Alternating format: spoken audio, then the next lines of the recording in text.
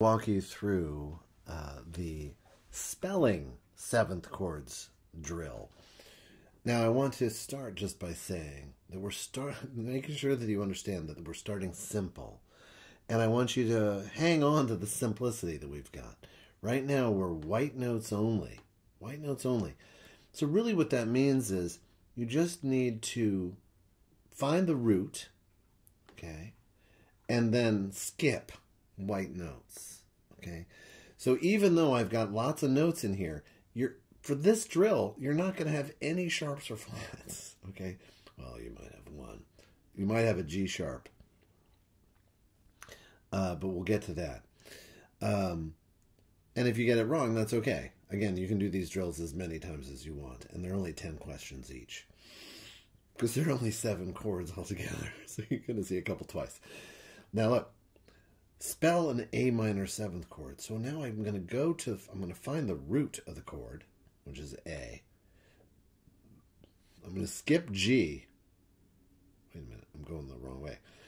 I've got this upside down, so that's okay. A, didn't mean to do that to you. A, then I skip B to C, then I skip D to E. Now I'm in, now I'm good.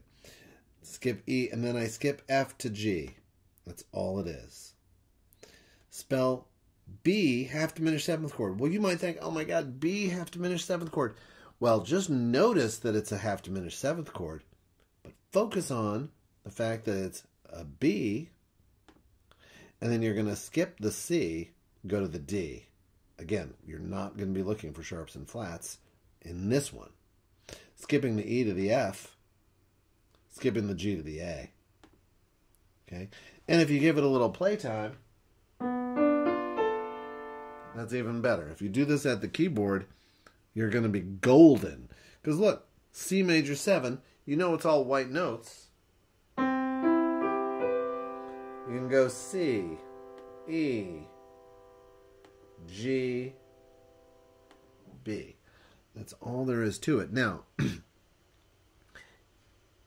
if you combine your time at the piano playing with white note seventh chords like I showed you in my the tutorial about seventh chords, with doing these two drills, naming seventh chords, spelling seventh chords, you're going to notice that they're just seven.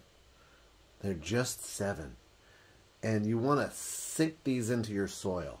You want to sink these into you because these are the basis. The white note seventh chords, you can have a lot of fun playing with seventh chords.